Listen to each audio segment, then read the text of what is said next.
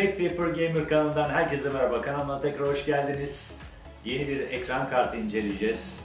MSI'nin çıkarmış olduğu Gaming X GeForce GTX 1660 süper ekran kartını sizinle birlikte yakından inceleyeceğiz. Evet, ilk önce ekran kartımızın kutusuna bakalım dışarıdan oldukça heybetli duruyor. Burada ön tarafa baktığımızda e, dikkatimizi çeken Twin Force 7 özelliği bunu görüyoruz. Burada Mystic Light RGB aydınlatmaları görüyoruz. Ee, arka tarafa bakalım. Arka tarafta Twin Force özelliğini açıklamışlar. Ne işe yarıyor diye. Bunun ayrıntılarını birazdan gideceğim. Burada RGB aydınlatması MSI'nin yan tarafında aynı şekilde logosuyla birlikte devam ettiğini gösteriyor. Evet, Kutumuzu yavaşça açalım, yavaş yavaş. Şöyle heyecanlı bir şekilde şöyle çıkartalım. Kutusuyla bile oldukça kaliteli olduğunu gösteriyor MSI. Evet, şu şunu kaldıralım. Evet, MSI'nin bir tane zarfı var. Zarfını açalım. Zarfın içinde neler varmış bakalım. Şöyle. Şimdi sırayla. MSI'nin bir tane kullanma kılavuzu kitapçığı var. Şöyle eğlenceli bir şekilde yapılmış. Çizgi film bir karakterle nasıl montaj yapacağınızı ekran kartına, anakarta bunu gösteren bir kitapçık. Gayet güzel. Yine burada bir e, kullanma kılavuzu daha var. Yine anakarta ekran kartını nasıl takacaksınız diye.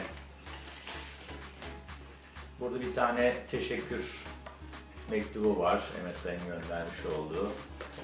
Yine burada kullanma kılavuzu var. Ayrıntılı bir şekilde nasıl monte edeceğinizi gösteren. Gayet güzel. Evet, şunu şöyle alalım. Keselim, gelelim asıl kısma. Şöyle yavaşça çıkartalım.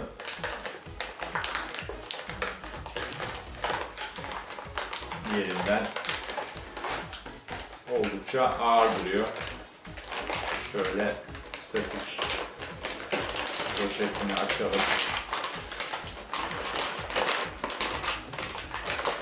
Aynı şekilde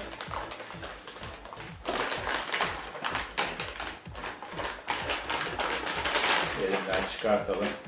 Evet.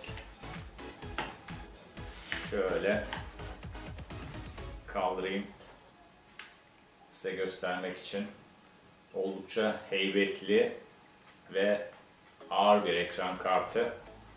Şöyle genel baktığım zaman gerçekten oldukça havalı bir tasarım görüyorum. Yani e, mühendislik çalışması gerçekten başarılı. Harika bir işçilik görüyorum burada. Evet, şimdi şöyle gösterecek olursam Twin Force 7 özelliğinden bahsetmiştim biraz önce. Bu nedir? Bu şu anlama geliyor. E, belli bir sıcaklığa geldiği zaman 60 derece sanırım 60 ya da 63 derece civarında bir sıcaklığa geldiğinde ancak e, bu fanlar devreye giriyor. Böyle güzel bir özelliği var. Yani oldukça sessiz anlamına geliyor. Aynı zamanda bu e, fan yaprakları çok farklı bir e, tasarıma sahip. Burada tırnaklar var. E, bu tırnaklar sayesinde hem hava akışının daha güzel iletilmesi sağlanıyor hem de daha sessiz çalışması sağlanıyor. Böyle bir özellik var. Şimdi burada RGB Mystic Light ledleri var şurada, buralarda. İşte kutunun üzerinde göstermiştim ledleri. Aynı zamanda şurada var. Şöyle göstereyim. Yan tarafta MSI'nin logosu ile birlikte.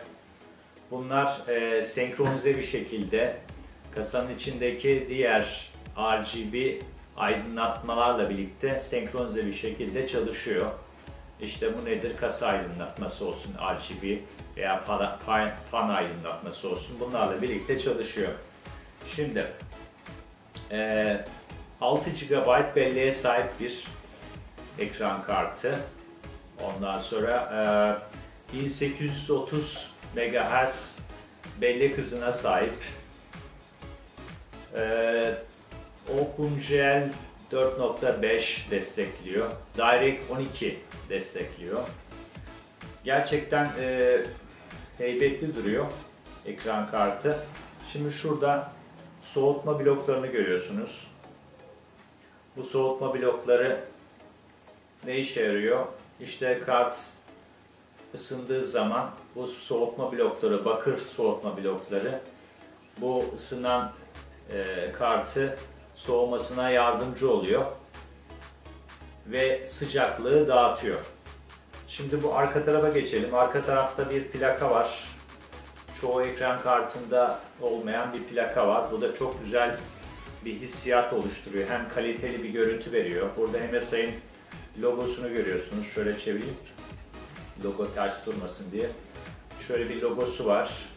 E burada gerçekten çelik bir plaka var. Bu plaka da e, ne işe yarıyor derseniz hem ekran kartını koruyor hem de bu bakır borularla iletilen e, dağıtılan sıcaklığı daha fazla dağıtılmasını sağlıyor, yardımcı oluyor. Çünkü bu plakaya da e, iletiliyor bu sıcaklık. Dolayısıyla bu plaka sayesinde sıcaklık dağılıyor. Bu da güzel bir özellik. Onun dışında 3 e, tane DisplayPort, bir tane HDMI e, portları mevcut bu kartta. Evet, genel baktığımız zaman gerçekten hissiyat olarak e, çok kaliteli bir işçiliği e, görebiliyoruz.